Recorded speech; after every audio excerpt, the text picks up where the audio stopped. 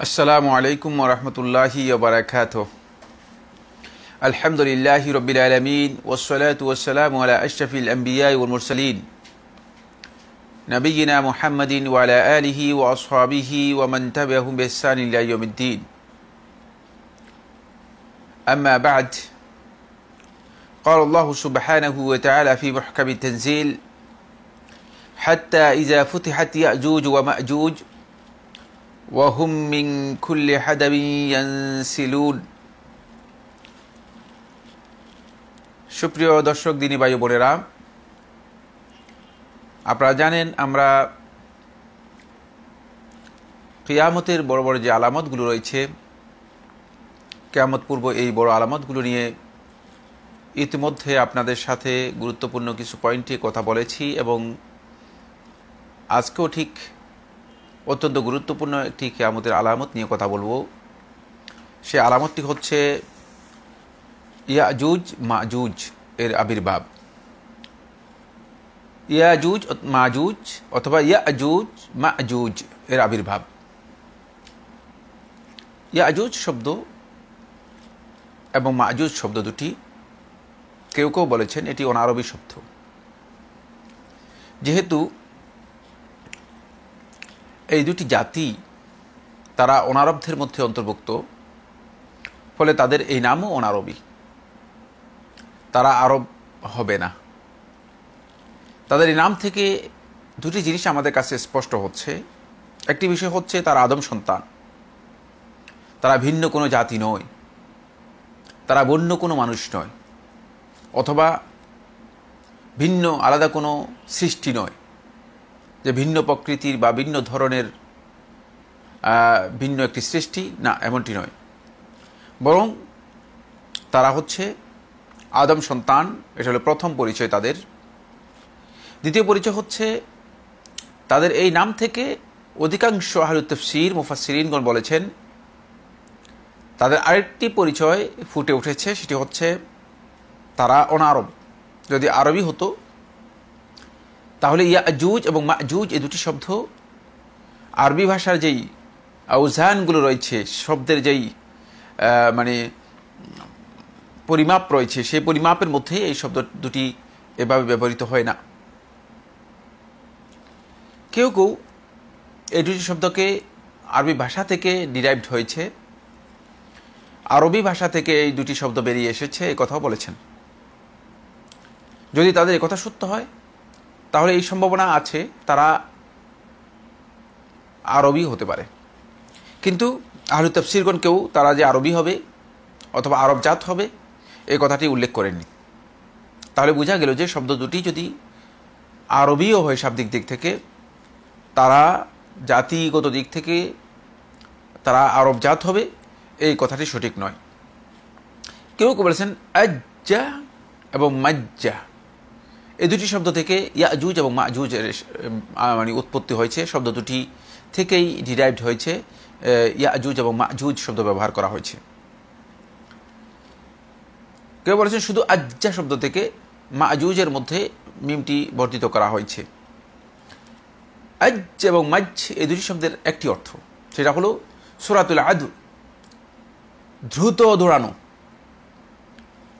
তাদেরকে ইয়াজুজ এবং মাজুজ এই জন্য বলা হয়েছে বা বলা হয়ে থাকে, যেহেতু তারা এই পৃথিবীতে যখন তারা বেরিয়ে আসবে, দ্রুত দৌড়াবে, তাদের দৌড়ানোর ক্ষমতা অনেক বেশি হবে।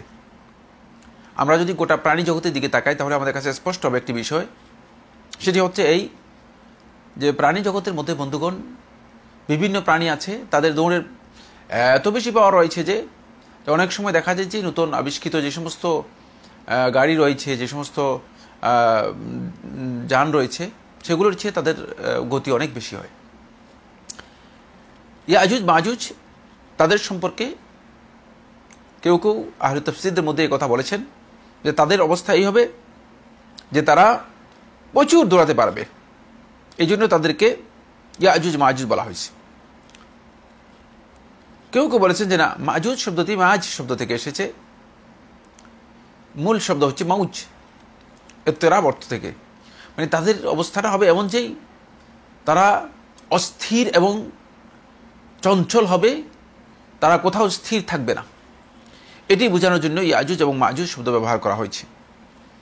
যাই হোক, কোরআনে করিমের মধ্যে এই শব্দটি এসেছে এবং তাদের পরিচয় আল্লাহ সুবাহন তালা কোরআনে করিমের মধ্যে বলেছেন, জুমহুর কারিগন এটাকে ইয়াজুজ মাজুজ আলিফ দিয়ে পড়েছেন। ইয়াজুজ মাজুজ। হামজা দিয়ে নয়। তাই তারা এখানে মত করেন। ইয়াজুজ মাজুজ। এভাবে পড়েছেন। শুধুমাত্র আসেম এর কেরাত, যেটা আমরা আমাদের এই ভূখণ্ডে আমরা যে কেরাত পড়ে থাকি, আমরা হাফস আন আসেম। আসেম আল কুফি রহমুল্লাহ তালা থেকে যে কেরাতটি পরিচিতি লাভ করেছে এবং হাফসের রেওয়ায়তে এসেছে, সেটা আমরা থিলাবাদ করে থাকি। তার তেলাওয়াতের মধ্যে ইয়া আজুজ মা আজুজ শব্দটি এসেছে। ইয়া আজুজ মা আজুজ শব্দটি এসেছে হামজার মাধ্যমে। তাই এখান থেকে আমরা যে বিষয়টি বুঝতে পেরেছি ইয়া আজুজ মা আজুজ তাদের এই নামকরণের বিষয়টি কেউ কেউ অনারবি শব্দ হিসেবে এটি তাদের জাতীয় পরিচয় এই জন্য ইয়াজুজ মাজুজ শব্দটি হুবু এভাবে ব্যবহার করেছেন। এখানে কোনো ধরনের মানে রুট নেই শব্দের। শাব্দিক যে ধাতু রয়েছে, শব্দের সেই ধাতুগত কোনো মিনিং নেই। শুধুমাত্র এটি দুটি জাতির নাম হিসেবে এটাকে চিহ্নিত করা হয়েছে।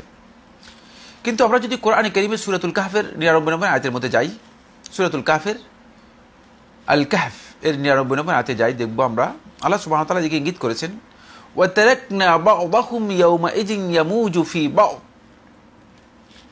যে, আর তাদেরকে সেদিন পরস্পরকে পরস্পরের মাঝে তাদেরকে দেখা যাবে যে অস্থিরভাবে তারা মানে একে একে অপরের উপর ঝাঁপিয়ে পড়ছে।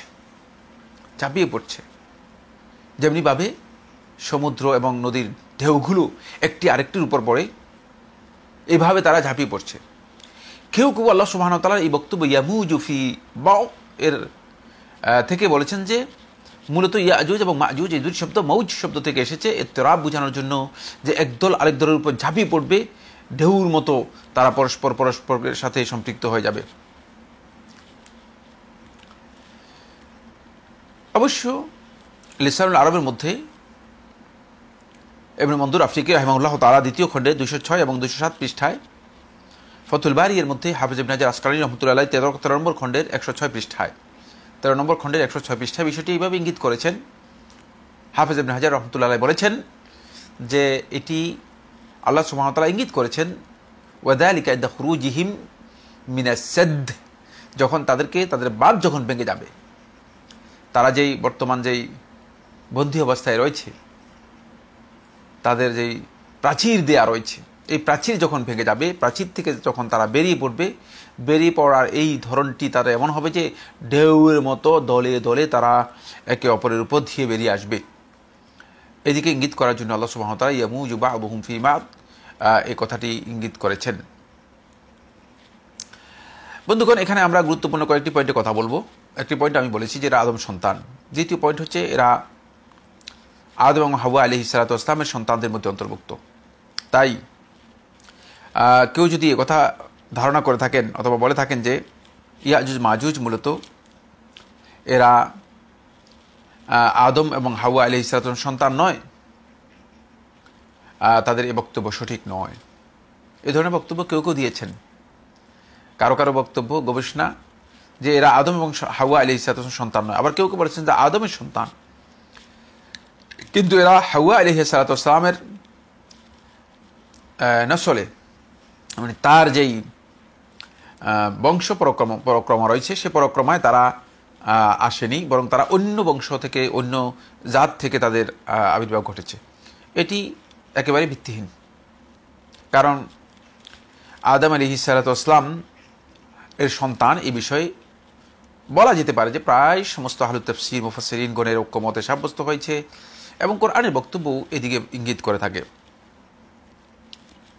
বরং হাফিজ ইবিন হাজার আসকালী রহমতুল্লাহ ফতুল বাড়ি তেরো নম্বর খন্ডে একশো সাত পৃষ্ঠায় আবার বলছি, ইবিন হাজার আসকালী রহমতুল্লাহ ফতুল বাড়িয়ের তেরো নম্বর খণ্ডে একশো সাত পৃষ্ঠায় তিনি বলেন, ওয়ালাম নারা হাজা ইন্দা আহাদি মিনাস সালেফ। এই ধরনের বক্তব্য আমরা ভিত্তিহীন এভিডেন্স বা দলিল ছাড়া, এই বক্তব্য আমরা সালাফদের কারও কাছে পাইনি। শুধুমাত্র কাবেল আহবার, যিনি ইসরায়েলিয়াত বর্ণনা করতেন অথবা ইহুদিদের কাছ থেকে বর্ণনা করতেন তার কাছ থেকে এ ধরনের কথা শোনা যায়, যেগুলো মারফু হাদিসের পরিপন্থী। বরং আমাদের কাছে স্পষ্ট যে ডকুমেন্ট রয়েছে সেই ডকুমেন্ট থেকে বোঝা যাচ্ছে তারা আদম আলী ইসালামের সন্তানদের মধ্যে অন্তর্ভুক্ত ওয়ামিন জুরিয়াতে নূহ নূ আলি ইসলাম সন্তানদের মধ্যে অন্তর্ভুক্ত, এবং তারা মূলত নূহ আলী ইসলাতামের সন্তানদের মধ্যে থেকে এক দলের একজনের নাম ছিল ইয়াফেস। ইয়াফেসের বংশধরদের মধ্যে অন্তর্ভুক্ত। এই মর্মে নেহায়ের মধ্যে এমনি কাসিদ মাসকি রহমতুল্লা আলাই কিতাবুল ফিতান ওয়াল মালাহিমের মধ্যে বিষয়টি ইঙ্গিত করেছেন।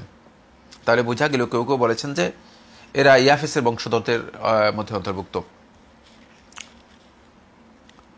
যাই হোক, এই বিষয়টি দলিলের মাধ্যমে সাব্যস্ত হয়নি। সুস্পষ্ট কোনো নস আল্লাহ রাসুল সাল্লাহ আলী ইসলামের হাদিস অথবা সুস্পষ্ট কোরআনে আয়াতের মাধ্যমে এটি সাব্যস্ত হয়নি। যে ইয়াফেসের বংশধর মধ্যে অন্তর্ভুক্ত এটা ঐতিহাসিক বর্ণনা করেছেন। এক্ষেত্রে দৃষ্টিভঙ্গি বিভিন্ন ধরনের থাকতে পারে। দৃষ্টিভঙ্গি বিভিন্ন ধরনের থাকতে পারে। বন্ধুগণ, এখানে আমরা অত্যন্ত গুরুত্বপূর্ণ কয়েকটি কথা বলব। প্রথম কথা হচ্ছে এই ইয়াজুজ, মাজুজ, এরা মানুষ এবং আদম সন্তান, এদের বিষয়ে কোরআন করিম মধ্যে বক্তব্য রয়েছে। সুতরাং যারা শুধুমাত্র বিবেককে কাজে লাগায়, শুধুমাত্র আকল দিয়ে কথা বলেন, শুধুমাত্র কমন সেন্স দিয়ে কথা বলেন, এবং কোরআনে করিমের সাথে আল্লাহ রাসুল সাল্লাহামের হাদিসকে যারা গ্রহণ করেন না, তাদের কাছে আমাদের এই বক্তব্য থাকবে যে খুব ভালো করে খেয়াল করুন।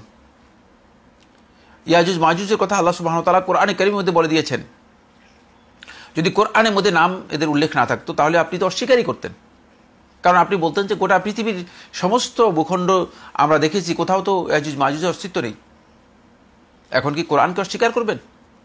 এখন কি আপনারা বলবেন যে কোরআনের মধ্যে বক্তব্য এসেছে? এটা ভুল হয়েছে? নাউজুবিল্লাহ বিন তালিক এটাই প্রমাণ করে যে রসুল্লাহ সাল্লামের হাদিসের সাথে কোরআনের একটা নিবিড় সম্পর্ক রয়েছে। কোরআনে করিমের যে বক্তব্যগুলো রয়েছে আল্লাহ হাবিব সাল্লাহ সাল্লাম পিরনবী সাল্লাহ আলী সাল্লাম ওই বক্তব্যগুলোকে খুবই গুরুত্বের সাথে এগুলোর ব্যাখ্যা বর্ণনা করেছেন। সুতরাং হাদিসকে উপেক্ষা করে, হাদিসকে বাদ দিয়ে কোনোভাবেই আপনি কোরআনে করিম বুঝতে পারবেন না অথবা কোরআনে করিমের তথ্য আপনার কাছে যথার্থ মনে হবে না। সেক্ষেত্রে আপনি আরও বেশি পদভ্রষ্ট হয়ে যাবেন। কোরআনে করিমের সুরাতুল আম্বিয়া এর মধ্যে শুধুমাত্র একটি আয়তের মধ্যে আল্লাহ সুবাহ উল্লেখ করেন নাই। দুইটি বা একাধিক আয়তের মধ্যে বলে উল্লেখ করেছেন। কোরআন করিমের দুটি সুরার মধ্যে এই বিষয়ে উল্লেখ করা হয়েছে। সুরাতুল কাহফের বিরানব্বই থেকে নিরানব্বই নম্বর আয়াত পর্যন্ত। সবটাই আল্লাহ সুবাহতালা ইয়াজুজ মাজুজের সম্পর্কে বলেছেন। সেখানে আল্লাহ সুবাহতালা বলেছেন, যখন জুল জুলকারনাইন তিনি দুটি প্রাচীরের কাছে পৌঁছলেন, মাঝে পৌঁছলেন ওয়াজেদামিন দুরিহিমা কৌমা প্রাচীরের ওপারে তিনি দেখতে পেলেন একদল লোক, একটা জাতিকে। লাফকাহুনা কৌলা তাদের বক্তব্যের সাথে, তাদের কথার সাথে, তাদের ভাষার সাথে কর্মিল নেই। তাদেরকে আল্লাহ সুবাহতারা এমন ভাষা শিক্ষা দিয়েছেন যে ভাষা জুলকারনাইন বিশাল এই পৃথিবীর, বিশাল রাজত্বের অধিকারী, তিনি এই ভাষা সম্পর্কে কিছু জ্ঞান রাখেন না। তখন ওই প্রাচীরের আশেপাশে যারা ছিল, কাছের লোকেরা, তারা বলল, কালু ইয়াদাল কারনাইনি ইন্না ইয়াজুজ মাজুজ মুফসিদুন যে ইয়াজুজ, মাজুজ মুফসিদুন ফিল আরদি, এই যে আমাদের ভূখণ্ডে তারা ব্যাপকভাবে বিপর্যয় সৃষ্টি করতেছে। ব্যাপকভাবে বিপর্যয় সৃষ্টি করতেছে। এই আয়াতের মাধ্যমে স্পষ্ট প্রমাণিত হয়েছে যে জুলকারনাইন, তিনি ইয়াজুজ মাজুজকে দেখেছেন। জুলকারনাইন ইয়াজুজ মাজুজকে দেখেছেন। এবং ইয়াজুজ মাজুজ যেই জায়গায় রয়েছে, যে ভূখণ্ডের যেই জায়গায় রয়েছে সেই জায়গায় তিনি গিয়েছেন। তিনি আলেকজান্ড্রিয়ার মিশরের আলেকজান্ড্রিয়ার শাসক এবং ক্ষমতাধর ছিলেন। এবং তিনি দীর্ঘ সময় প্রায় বলা যেতে পারে যে পৃথিবীর বিশাল ভূখণ্ডের শাসক হিসেবে অথবা রাজা হিসেবে তিনি দায়িত্ব পালন করেছেন, ক্ষমতা লাভ করেছিলেন। আমরা যেহেতু তফসিরের বিষয়গুলো আমাদের এখানে আলোচ্য বিষয় নয় এই জন্য আমরা সেদিকে যেতে চাই না। শুধু এতটুকু বলতে চাই যে এই আয়াতের মাধ্যমে ইয়াজুজ মাজুজ যে ছিল, তারা যে বিপর্যয় করত, এই বিষয়গুলো স্পষ্ট সাব্যস্ত হয়েছে এবং জুলকারনাইন সেখানে উপস্থিত ছিলেন, গিয়েছেন। দ্বিতীয় আয়াত হচ্ছে ছিয়ানব্বই সাতানব্বই নম্বর আয়াত, সুরে আম্বিয়ায়ের। সুরাতুল আম্বিয়ায়ের ছিয়ানব্বই এবং সাতানব্বই নম্বর আয়াতের মধ্যে আল্লাহ সুবাহতাল্লাহ সাদ করেন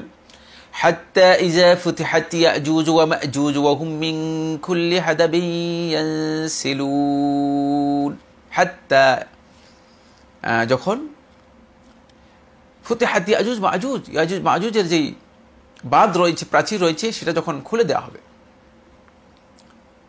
তারা প্রত্যেকটি কোনা থেকে, প্রত্যেকটি জায়গা থেকে তারা বের হতে থাকবে, বের হতে থাকবে, শুধুমাত্র বের হতে থাকবেই। তাদের সংখ্যার আধিক্যের দিকে ইঙ্গিত করা হয়েছে এবং তারা অনেক বেশি হবে এদিকে ইঙ্গিত করা হয়েছে।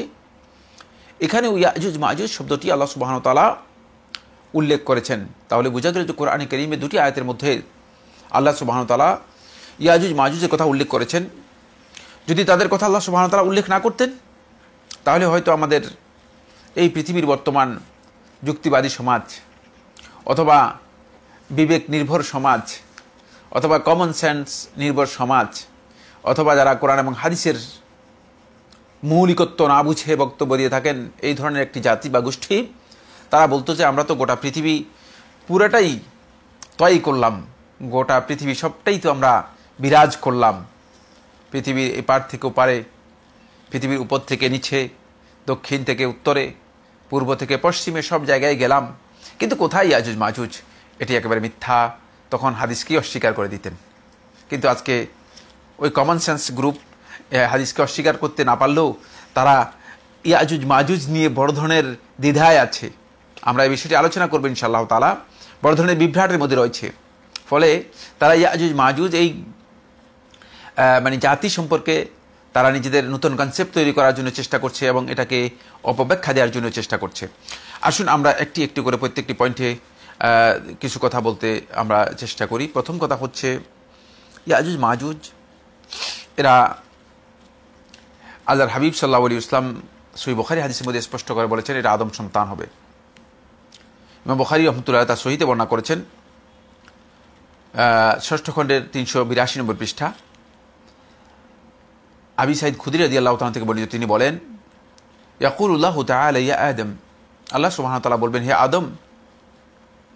আদম আলী ইসালাতামকে লক্ষ্য করে আল্লাহ রাবুল আলমিন বলবেন, হে আদম। ফাইয়াকুল উল্লাব্বাইক ও সাদাইক হে আল্লাহ। আমি উপস্থিত। আপনার সৌভাগ্যমণ্ডিত হতে চাই ওয়াল খাই রুফি ইয়াদিক। সকল কল্যাণ তো আপনার হাতেই। ফাইয়াকুলু আখরেজ বা আসান না আল্লাহ রাবুল আলমিন আদম আলী ইসলামকে বলবেন? বায়াসান্নার জাহান্নামের জন্য যাদের প্রস্তুত করা হয়েছে, জাহান্নামের দলটিকে তুমি বের করে নাও। কাল ওমা বাসুন্নারি হে আল্লাহ আল্লাহ তালা বাসুন্নার কারা? কাদেরকে জাহান্নামের জন্য প্রস্তুত করা হয়েছে অথবা জাহান্নামের জন্য তৈরি করা হয়েছে। এরা কারা? বাসুন্নার কারা এরা? কালা, মিন কুল্লি আলফিন তেস আমি আতিম ওয়াতিস আতিম ওয়াতিস ইন যে প্রত্যেক হাজারের মধ্যে নিরানব্বই জন এরা হচ্ছে বাসুন্নার। ফাইন্দাহু ইয়াসিবুস সগির। এ সময় ভয়াবহতা এমন হবে যে, এই ভয়াবহতায় যারা ছোট ভয়াবহতার ধরন আল্লাহর হাবিব সাল্লাহ ইসলাম বলেছেন যে তারা বার্ধক্য উপীড়িত হয়ে যাওয়ার যে ভয়াবহতা, সেই ভয়াবহতার মুখোমুখি হবে। ওয়াতাদাউ কুল্লু জাতি হামলিন হামলাহা। যদি ভয়াবহ পরিস্থিতি এমন হবে যে গর্মধারিণী মহিলা নিজের গর্ব পাত করবে মানে গর্ব খালাস করে দেবে, ভয়ে ভীত বিহবল হয় ওয়াতারান্নাসা সুখারা। আর মানুষগুলো মাতালের মতো, উম্মাদের মতো হয়ে যাবে। কারা চলে যাচ্ছে? কারা চলে যাচ্ছে? কাদেরকে বাসুন্নার বলা হচ্ছে? কাদেরকে জাহান্নামের জন্য বের করা হচ্ছে? অমা হুম্বে সোকারা তবে তারা সবাই আসলে কেউ উম্মাদ নয়। কেউ উম্মাদ নয়, কিন্তু উম্মাদের মতো হয়ে যাবে। ওলা কিন্না আদাব আল্লাহি শাদিদ। আল্লাহ তারা আজাব যখন তারা মানে বুঝতে পারবে, তখন এই কঠিন আজাবের কারণে তারা এই ভয়ের মধ্যে থাকবে। কালু আইয়ুনা দালিকাল ওয়াহেদ। সাহাবাই কেরামগণ প্রশ্ন করলেন, হে আল্লাহ রসুল্লাহ ইসলাম আইয়ুনা দালিকাল ওয়াহেদ। এই যে একজনের কথা বললেন, হাজারে একজন মাত্র। এই একজন কে হবে? আমরা কি আদৌ এর মধ্যে অন্তর্ভুক্ত হতে পারব কিনা? এটা বড় প্রশ্ন, বড় জিজ্ঞাসা। আদৌ কি আমরা এই একজনের মধ্যে অন্তর্ভুক্ত হতে পারব না? কালা রসুল্লাহ আসলাম বললেন, আবিশিরু, তোমরা সুসংবাদ গ্রহণ করো। তোমরা দুশ্চিন্তাগ্রস্ত হইও না। ফাইন নামিন কুমরা জুলেন তোমাদের মধ্যে থেকে শুধু একজন হবে। ওয়ামিন ইয়া আজুজ ওয়া মাজুজ আলফুন, আর ইয়াজুজ মাজুজ থেকে হবে এক হাজার। তাহলে বোঝা গেল যে এই হাদিস থেকে বোঝা যাচ্ছে যে আদম আলী ইসলাতামের দিকে ইঙ্গিত করে, ইয়াজুজ মাজুজের দিকে ইঙ্গিত করে এই হাদিস থেকে দুটি জিনিস প্রতীয়মান হচ্ছে। প্রথম যে বিষয়টি, সেটা হলো ইয়াজুজ মাজুজ, আদম সন্তান হবে। দ্বিতীয় যে বিষয়টি, যে ইয়াজুজ মাজুজ, এরা মূলত বাহাসুন্নার এরা আল্লাহ তালার অবাধ্য একটি মাখলুক যারা অবাধ্য হয়ে গিয়েছে পরিপূর্ণরূপে। এদেরকে জাহান্নামে নিক্ষিপ্ত করা হবে এবং এরা আদম সন্তান হলেও এরা কিন্তু জাহান্নামের জাহান্নামে ধাবিত হবে এদের অপরাধের কারণে। এখানে একটি প্রশ্ন আসতে পারে, সেটা হচ্ছে এই তাদেরকে আদৌ কি মানে জাহান্নামী হিসেবে সৃষ্টি করা হয়েছে? নাকি আসলে তারা জাহান্নামের কর্মের কারণে জাহান্নামী হবে? জুমহুর আহ্লাদিজগণ বলেছেন যে না, তাদেরকে জাহান্নামী হিসেবে সৃষ্টি করা হয়নি। কিন্তু তারা অপরাধের সাথে এমন ভয়াবহভাবে নিজেদেরকে সম্পৃক্ত করে নিয়েছে, ফলে তারা অপরাধী হিসেবে বিপর্যয়ের কারণে জাহান্নামী হবে বা জাহান্নামী হিসেবে চিহ্নিত হবে। এরপরে হাদিসটি হাদিসটি আবু দাউদ তার সুনানের মধ্যে বর্ণনা করেছেন। কিতাবুল ফিতান ওয়া আলামাত ইসার মধ্যে দ্বিতীয় খণ্ডে দুইশো উনিশ পৃষ্ঠায় হাকেম তাল মুস্তাদাকের মধ্যে বর্ণনা করেছেন, চতুর্থ খণ্ডের চারশো নব্বই পৃষ্ঠায়, এবং হাদিসটিকে সহি বলেছেন আল্লাহ শর্তে শেখাইন বুখারি ও মুসলিমের শর্ত অনুযায়ী এবং বলেছেন যে তারা তাদের ব- সহিহাইনি বর্ণনা করেননি। একই বক্তব্যকে সমর্থন দিয়েছেন হাফেজ শামসুদ্দিন জাহাবি রহমতুল্লা আলাই হাফেজ হাইসাবি রহমতুল্লাহ মাজমুল জওয়াইদের অষ্টম খণ্ডের ছয় পৃষ্ঠায় উল্লেখ করেছেন, তিনি বলেন, এই হাদিসটি ইমাম আবুল কাসম তবরানি রহমতুল্লাহ তার মহাজমুল কবির মধ্যে বর্ণনা করেছেন মহাজমুল আউসাতের মধ্যে বর্ণনা করেছেন এবং এর সনদের বর্ণাকারীগণ সবাই বিশ্বস্ত হাফেজ ইবনে হাজার আসকালীন রহমতুল্লাহ ফতুর বাড়িয়ের তেরো খণ্ডের একশো সাত পৃষ্ঠায় বলেন, এই হাদিসটি আব্দুল হুমায়ুন তার সনদে বর্ণনা করেছেন, সহি সনদে আবদুল্লাহ ইবনে সাল্লাম থেকে অনুরূপ বর্ণনা করেছেন আবদুল্লাহ ইবনে আমির রাস থেকে বর্ণিত তিনি বলেন রসুল্লাহ সাল্লাহ আলী সাল্লাম ইরশাদ করেছেন, আন্না ইয়াজুজ ও মাজুজ মাজুজ মিন ওয়ালাদি আদম। ওয়া আন্নাহুম লাউ উরসিলু ইলান নাসি তাদেরকে যদি মানুষের সাথে মার্জ করে দেওয়া হতো, যদি মানুষ থেকে আলাদা তাদেরকে না করা হতো, তাদের প্রকৃতি, স্বভাব, এই অবস্থার কারণে মানুষের মধ্যে যদি তাদেরকে দেয়া হতো, তাহলে লাফসাদু আলাইহি মা আয়সাহুম তাহলে গোটা মানব সভ্যতার মানে পতন হয়ে যেত। মানুষের উপর জীবনযাপনটি কঠিন হয়ে যেত। মানুষের জীবনযাপনকে তারা বিপর্যস্ত করে দিত। লাফসাদু আলাইহিম মা আয়সাহুম তারা মানে মানুষের জীবনযাপনটাকেই একেবারেই বিপর্যস্ত করে দিত, পর্যুদস্ত করে দিত।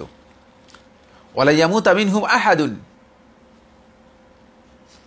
তাদের একজন ব্যক্তির মৃত্যু হয় না ততক্ষণ পর্যন্ত, ইল্লা তারা কামিন জুরিয়াতি আলফেন ফাসা ইদান যে তার সন্তানদের মধ্যে এক হাজারের চেয়েও আরও বেশি সন্তান সে জন্ম দিয়ে যায়। মানে একজনের মৃত্যু তাদেরকে আল্লাহ সুবাহ তারা এমন শক্তি দিয়েছেন যে তাদের একজনের মৃত্যু ততক্ষণ পর্যন্ত হয় না। যতক্ষণ পর্যন্ত এক হাজারের চেয়ে বেশি সন্তান তার না হয়ে থাকে। তাহলে বোঝা গেল যে তাদের সংখ্যায় অনেক বেশি এবং তাদের জীবনযাপনের প্রকৃতি আলাদা আর তারা অত্যন্ত ভয়ঙ্কর। এই হাদিসটি আমি বলেছি, এই হাদিসটি হাদিসের তিনটি গুরুত্বপূর্ণ কিতাবের মধ্যে বর্ণনা করা হয়েছে এবং ইবনে হাজার আতকালীন রহমতুল্লাহ হাদিসটিকে সহি বলেছেন। সহি বলেছেন হাইতামি রহমতুল্লাহ সহি বলেছেন শেখ মোহাম্মদ নাসুদ্দিন আলবানী রহমতুল্লাহ তিনিও সহি বলেছেন।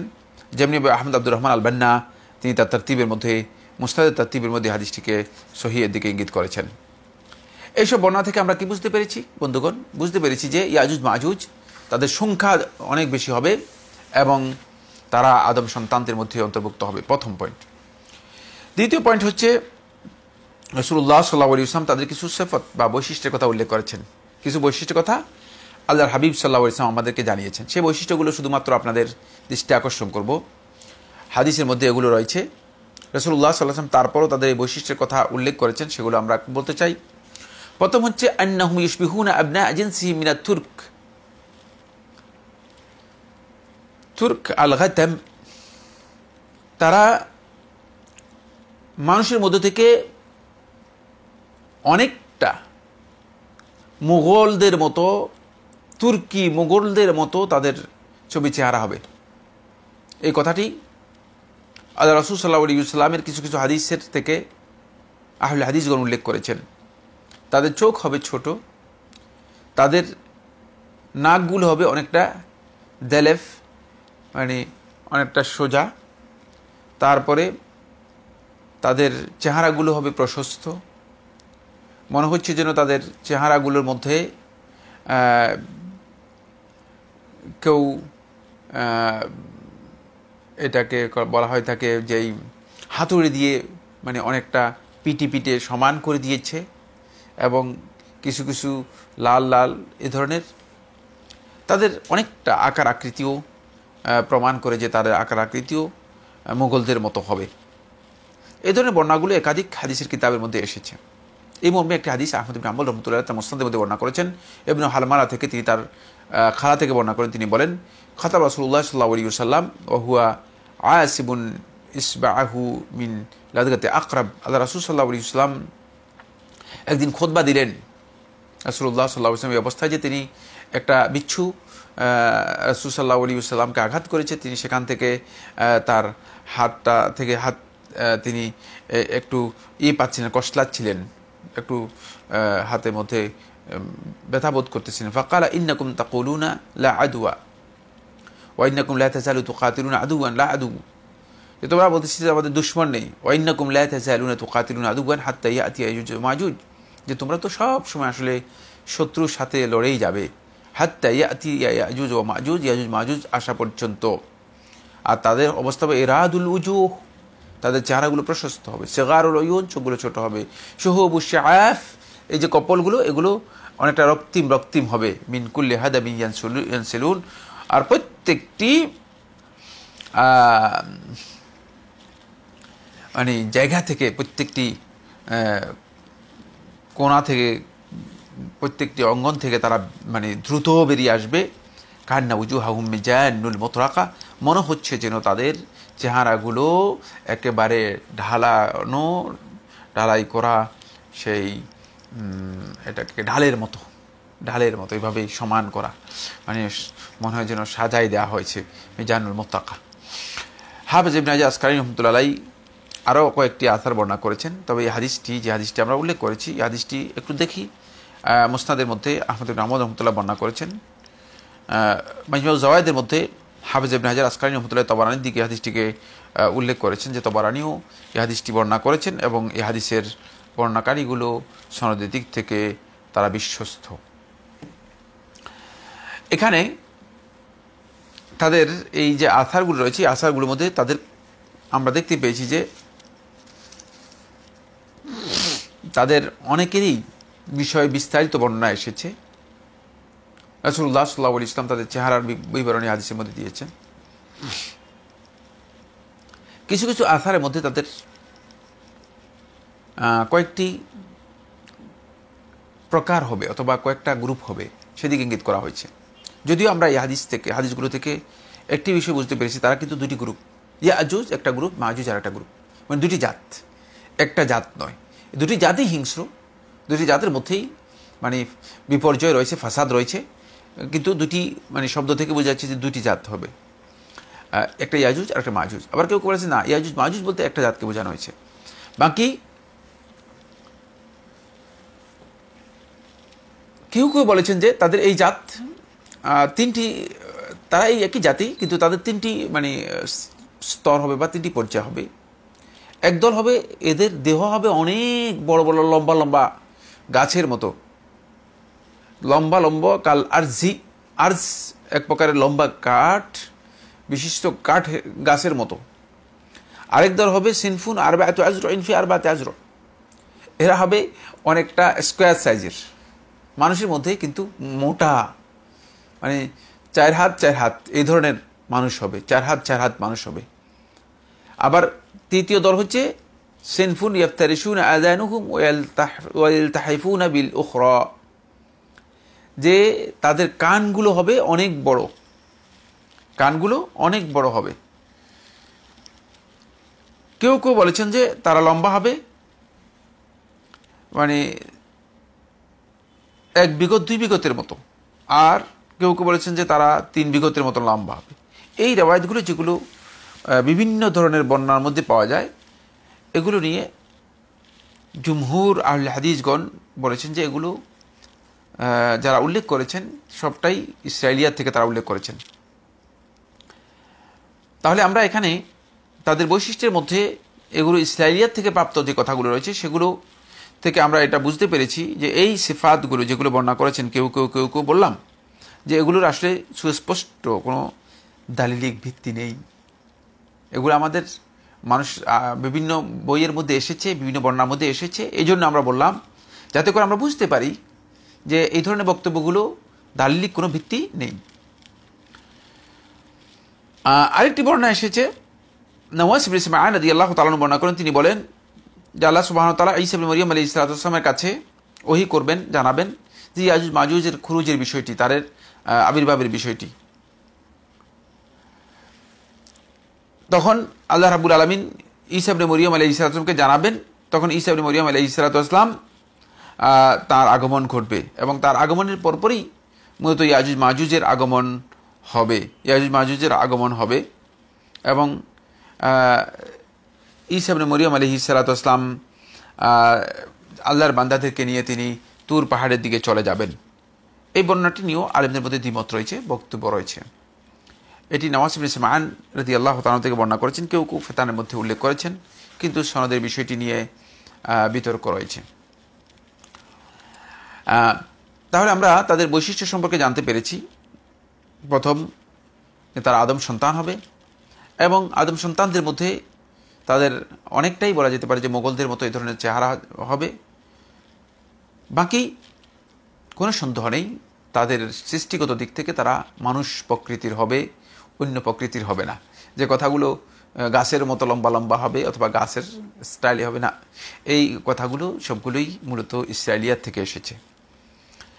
এবার আমরা যে পয়েন্টটিতে যাব সেই পয়েন্টটি হচ্ছে ইয়াজুজ মাজুজের আবির্ভাবের বিষয়টি। এটি আলামাতুসাহ কেয়ামতের অন্যতম বড় একটি আলামত। এবং তাদের এই আবির্ভাবটুকু হবে কেয়ামতের পূর্বাহ্নে, কেয়ামতের আগে। এখন, এই আবির্ভাবের বিষয়ে আল্লাহ সুবাহ তালা আমি বলেছি কোরআনে করিমের সুরা আল আম্বিয়া ছিয়ানব্বই আয়াতের মধ্যে, আয়াতে বলেছেন, ছিয়ানব্বই আয়াতের মধ্যে স্পষ্ট করে বলেছেন যে এদেরকে যখন, এদের বর্তমান যে প্রাচীর দিয়ে আছে, এই প্রাচীর থেকে তারা যখন বেরিয়ে আসবে, তখন তারা প্রত্যেকটি জায়গা থেকে এসে ব্যাপকভাবে তারা হানা দেবে বা বেরিয়ে আসবে। এরপরে জুলকারনাইনের ঘটনা আমরা পাই সুরাতুল কাহফের বিরানব্বই থেকে নিরানব্বই আয়াতের মধ্যে। এই আয়াতগুলো থেকে বোঝা যাচ্ছে যে জুলকারনাইন সেখানে যখন গিয়েছেন, তিনি ইয়াজুজ মাজুজকে পেয়েছেন, তারা মানুষের মধ্যে বড় ধরনের বিপর্যয় তৈরি করতেছিল। যদিও তারা যে প্রাচীর আছে, মা হাত্তা ইজা ইজা বালাগা বাই, হাত্তা ইজা বালাগা বাইনা সাদ্দাইনি ওয়াজাদা মিন দুনিহিমা কওমান লা ইয়াকাদুনা ইয়াফকাহুনা কাওলা। এই বালাগা বাইনা সাদ্দাইনি, বোঝা গেল যে দুইটা সাদ আছে। কেউ কেউ বলেছেন সাদ্দাইনি আল জাবালাইনি কাবিরাইনি, বড় বড় দুটি পাহাড়। এই দুটি পাহাড় দিয়ে বিষয়টা তাদেরকে মানে ভূখণ্ডের আলাদা দিকে তাদেরকে রেখে দেওয়া হয়েছে। আলাদা দিকে তাদেরকে রেখে দেওয়া হয়েছে। এবং এখানে যখন তিনি গিয়েছেন, তখন তিনি দেখতে পেলেন যে তারা বিপর্যয় তৈরি করতেছে, তখন তিনি তাদেরকে পরিপূর্ণরূপে আড়াল করে দিলেন, আলাদা করে দিলেন। পরিপূর্ণরূপে আড়াল করে দিলেন। যাতে করে তারা মানুষদের মাঝে এসে, আমরা যারা মানে তারাও মানুষ, কিন্তু মানে যারা এই মানে হিংস্র স্বভাব থেকে মুক্ত যেই মানুষ মানব প্রকৃতি আছে, তাদের মাঝে এসে তারা যেন কোনোভাবে বিপর্যয় তৈরি করতে সক্ষম না হয়। এজন্য জুলকারনাইন একেবারেই সেখানে তিনি সীসা দিয়ে, সীসাকে গলিয়ে, সীসা দিয়ে ঢালাই করে প্রাচীর করে দিয়েছেন। বন্ধুগণ, এটা কোথায়? এ নিয়ে অনেক গবেষণা আলেমরা করেছেন। এ বিষয়ে আমি আলোচনা করতে চাই না। কারণ হচ্ছে, এটা আমাদের গবেষণার বিষয়ই না। আমরা ইমান এনেছি যে পৃথিবীতে তারা আছে। পৃথিবীতে কোনো না কোনো ভূখণ্ডে তাদেরকে রেখে দেওয়া হয়েছে। শর্ত নয় যে কোথায় আছে, তাদেরকে আমাদের বের করতে হবে। তাদেরকে বের করা আমাদের শর্তের মধ্যে পড়ে না। তাদের বিষয়টি আল্লাহ সুবাহতালা যেভাবে রেখেছেন, সেভাবেই আমাদেরকে বিশ্বাস করতে হবে। তাই কথা বলার প্রয়োজন নেই যে তারা কোথায় আছেন, কীভাবে আছেন, পৃথিবীর কোন জায়গায় আছেন, সেটা আমাদেরকে বের করে দিতে গোটা পৃথিবীর কোথায় কি আছে? এটা কি সব কিছু কি আমাদের আমাদের তথ্যের মধ্যে রয়েছে? সব কিছু কি আমাদের ইনফরমেশনের মধ্যে রয়েছে?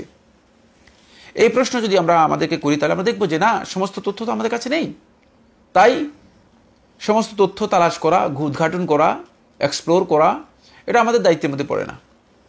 আমরা এতটুকু মনে করি যে এটা তাদেরকে এখানে বিভিন্ন কোরআন এবং হাদিসের বক্তব্যের মাধ্যমে প্রমাণিত হয়েছে, তাদেরকে এই প্রাচীরের আড়ালে তাদেরকে পরিপূর্ণরূপে বন্দি করে রেখে দেওয়া হয়েছে।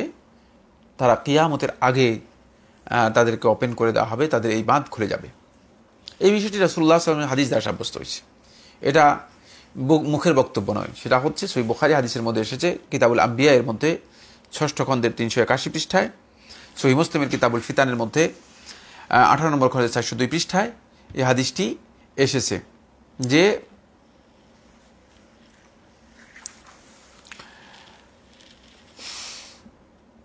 উম্মে হাবিবা বিনতে আবি সুফিয়ান رضي الله تعالى عنها عن زينب بنت জাহাশ أن رسول الله صلى الله عليه وسلم دخل عليها يوما فزعا জৈনব বিনতে জাহাজ থেকে তিনি বর্ণনা করেন একদিন রসুল্লাহ সাল্লাহ ইসলাম তার কাছে আসলেন প্রবেশ করলেন ইয়ৌমান ফাজিয়ান অত্যন্ত বিষণ্ন অবস্থায় বিমর্ষ অবস্থায় ইয়াকুল লা ইলাহিল্লাহ আল্লাহ নবী সাল্লাম বললেন লা ইলাহিল্লাহ আল্লাহ তালা ছাড়া কোনো ইলাহ নেই।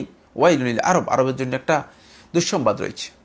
মিনসার রেখা দেখ তারাব যেই অনিষ্টটুকু তাদের একেবারে কাছাকাছি হয়ে গেছে। ফুতিহাল ইয়ৌম আজকের এই দিনে মিনডাদ মি ইয়াজুজ ও মাজুজ। ইয়াজুজ মাজুজ যে বাঁধ রয়েছে, যে প্রাচীর রয়েছে, সেই প্রাচীর থেকে মিসলাহাজিহি রাসুসাম বলে যে এতটুকু। ওয়াহাল্লা কাবাইনে ইসবাইহিল ইভাম ওল্লাতি তালিহা। এই, বিদ্যাঙ্গুলি এবং মানে যেই এই আঙ্গুলটি, শাহাদাত আঙ্গুলি, এই দুইটাকে রাসুল সালাম এভাবে করে দেখালেন যে যে এতটুকু পরিমাণ হাল্লাকা এটাকে একসাথ করে দেখালেন, এতটুকু পরিমাণ আজকে ইয়াজুজ মাহুজের যেই বাঁধ অথবা যেই প্রাচীর রয়েছে, সেই প্রাচীর থেকে এতটুকু পরিমাণ খুলে দেওয়া হয়েছে। কালাত জৈনব বিনতে জাহাস জৈনব বিনতে জাহাস যদি আল্লাহ তালা বললেন ফাকুল তু ইয়া রসুল্লাহ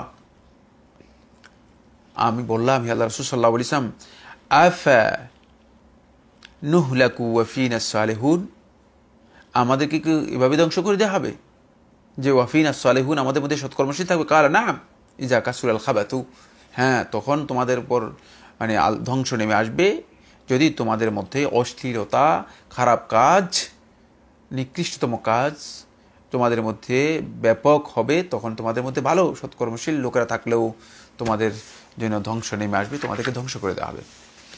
এই হাদিস থেকে বোঝা যাচ্ছে যে আল্লাহ নবী সাল্লাহ ইসলাম ইঙ্গিত দিয়েছেন, তাদের এই খুরুজের বিষয়টি যে তাদেরকে খুরুজ অনেক দূরে নয়, বরং তাদের খুরুজ হবেই। কেয়ামতের আগে তাদের খুরুজ হবে।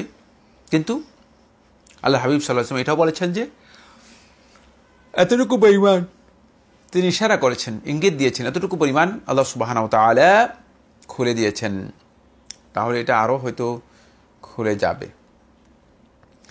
এবারে যে হাদিসটি হাদিসটি বর্ণনা করেছেন ইমাম মুসলিম রাহিমাল্লাহ তালা বা বজিক্রিদ দাজ্জালের মধ্যে, তার সহিতে আঠারো নম্বর খণ্ডের আটষট্টি উনসত্তর পৃষ্ঠায়, আটষট্টি উনসত্তর পৃষ্ঠায় ইমাম মুসলিম রাহেমাউল্লাহ তালা হাদিসটি নওয়াজ ইবনে রদি বর্ণনা করেন। তিনি বলেন যে, যখন ইয়াজুজ মাজুজের আগমনের বিষয়ে তাদের দরজা খুলে দেওয়ার বিষয়টি আসবে, তখন আল্লাহ সুবাহতালা ওহি করবেন। আইসাবনে মরিয়ম আলী ইসলাতাম কাছে তিনি বলবেন যে, কাদ আখরাই ইবাদ আল্লি লি আহাদিম যে আমি আমার একদল বান্দাকে এখন বের করে দিচ্ছি, যাদেরকে, যাদের সাথে কারও যাদের কারোর সাথে লড়াই করার মতো তোমাদের কারোর শব্দ নেই। ফাহার রেজি বা দিলা তো আমার বান্দাদেরকে নিয়ে তুমি তুরের মধ্যে চলে যাও, যেটা আমি ইঙ্গিত করেছি। ওয়া বাসুল্লাহ ইয়াজুজ মাহুজ আল্লাহ তালা তখন ইয়াজুজ মাহুজের জন্য খুলে দিবেন ওপেন করে দিবেন। ওয়াহুম মিঙ্কুল্লে হাদাবিয়ান সিলুন এবং তারা প্রত্যেকটি টিলার টঙ্কর থেকে উঁচা নিচা জায়গা থেকে মানে তারা যে জায়গায় আছে সেই জায়গাগুলো অনেকটা পাহাড় পর্বত ঘেরা জায়গা। এই হাদিস থেকে, এই বক্তব্য থেকে এটা কোরআনে আয়াত অবশ্য মানে এখানে হাদিস হিসেবে আসছে। হাদাব শব্দটি বলা হয় তাকে মানে টিলা জাতীয় জায়গা, উঁচা নিচা জায়গাকে। তাহলে বোঝা গেল তারা গিরিবন্দর জায়গাতে মানে পাহাড়িয়া জায়গাতে তারা, তাদের অবস্থান রয়েছে। ইয়ান সিলুন ইয়ানসিল, নাসলুন শব্দ থেকে এসেছে। নাসলুন বলতে বোঝানো হয় তাকে যেটা, সেটা হলো যে উপর থেকে নিচের দিকে নেমে আসা, বেরিয়ে আসা। তারা এখান থেকে সবাই বেরিয়ে আসবে এবং দ্রুত বেরিয়ে আসাকে নাসল বলা হয় তাকে। ফাইয়ামুর উলা ইকালা বহাইরাতি তবারিয়ে উলা, তাদের কেউ কেউ বলেছেন যে এই হাদিসের রেওয়ায়তের মধ্যে উলাইকা শব্দ নয় আওয়া ইলুহুম তাদের প্রথম দল তবারিয়া যেই হ্রদ রয়েছে, এই হ্রদ দিয়ে অতিক্রম করে যাবে। ফাইয়াশরাবুনা মা ফিহা। তবারিয়া হ্রদের যা পানি আছে, সবগুলো পানি এটা সিরিয়া থেকে মানে বের হওয়ার, তাহলে বোঝা গেলে তারা সিরিয়ার কোনো পশ্চিম অঞ্চল থেকে তাদেরকে বের করা হবে বা তারা বেরিয়ে আসবে। আর সেই তারা তাবারিয়া হ্রদ মানে তাদের প্রথম গোষ্ঠী তাবারিয়া হ্রদ অতিক্রম করবে, আর এই তাবারিয়া হ্রদের যা পানি আছে, সবগুলো তারা পান করে ফেলবে। ওয়ামুর রাখ রুহুম তাদের বিশালত্বের কথা, তাদের সংখ্যাধিক্যের কথা আল্লাহ রসুল সাল্লাহ ইসলাম হাদিসের মধ্যে এইভাবে বলতেছেন ওয়ামুর আখের হুম তাদের শেষ দল যখন তাবারিয়া পর্যন্ত পৌঁছবে, প্রথম দল কোথায় গেছে আল্লাহ ভালো জানে, আল্লাহ তালার জ্ঞানের মধ্যে রয়েছে। যখন মানে শেষ দল যখন তবারিয়া হ্রদ পর্যন্ত পৌঁছবে ফায়াকুলুন, তারা বলবে লাকাত কানা বেহাজ হিমারাতান মা। সম্ভবত মানে এই জায়গায় পানি ছিল। মানে এমন অবস্থা যে পানি তো মানে পান করে এমনভাবে শুকিয়ে গিয়েছে যে তারা বুঝতেই পারবে না যে এটা একটা বিশাল হ্রদ বা এটি একটি প্রবাহমান নদীর মতো ছিল। ওয়ুহসর নবী উল্লাহ ইসা আসহাবুহু হাত্তা ইয়াকুনা রাসুস সাউরি আহাদিহিম। খাইরা মিন মিয়াতি দিনার লিয়াহাদিকুম লিয়ম যে নবীউল্লাহ ইসা আলি ইসালাম এবং তার যারা অনুসারী থাকবে তখন তাদেরকে তারা আবদ্ধ করবে, তাদেরকে আবদ্ধ করে দিবে। এমনকি ইয়াকুন রাসৌরিল আহাদিহিম দিনার।